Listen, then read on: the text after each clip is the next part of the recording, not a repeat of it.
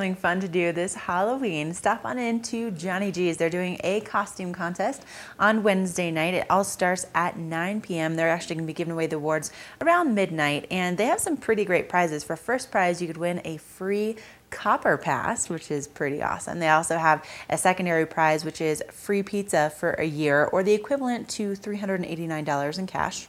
So I'm guessing that's slices. And then third prize is a $50 tab over at Johnny G's. So you can certainly, you know, win some great stuff. And it sounds like the party is going to be a lot of fun too. So again, that's starting at 9 p.m. on Halloween night over at Johnny G's on Main Street in Frisco.